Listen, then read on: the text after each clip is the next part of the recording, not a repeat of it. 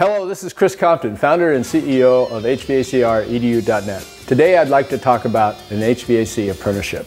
With millions of people in search for a better life, an HVAC technician is a potentially lucrative career path that is often overlooked in the field of possibility.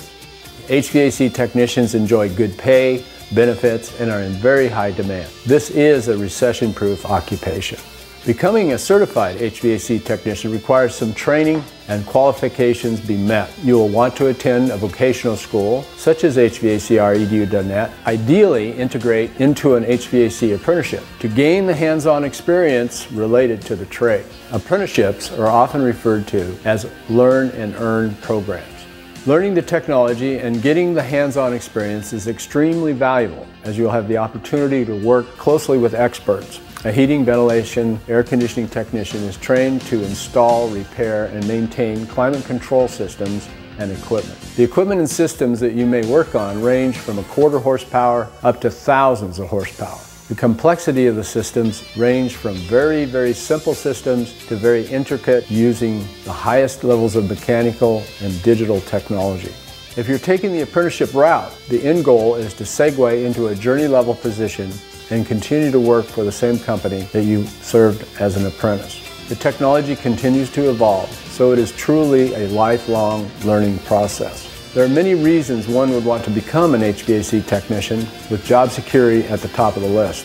The high demand for experts in this field is not likely to change and robust benefit packages including health insurance, 401ks make it even more of an attractive profession. You may ask, who is qualified for an apprenticeship? Every HVAC company will have their own specific requirements, but most will require a basic working knowledge of heating and air. The basic knowledge of HVAC unit functionality can be obtained from schooling, but hands-on training is imperative to really understand their inner workings. Having some previous on-the-job training is essential when applying for an HVAC position. HVAC apprenticeships can be found in a few different ways. Initially try approaching the local heating and cooling company or union. In most things, persistence pays off. Be ready to show your resume if asked. Meeting these requirements will help you in your quest for apprenticeship be 18 years or older, or in some states, you can start as early as 16 years old if you have parental permission. Be a high school graduate or GED. Be okay with taking an aptitude test. Have a valid driver's license. Have reliable transportation. Be willing to take a drug test. And be fit enough for some strenuous duties.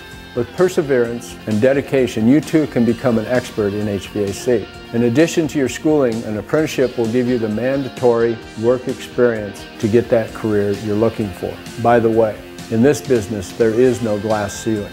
You can go as far as you want.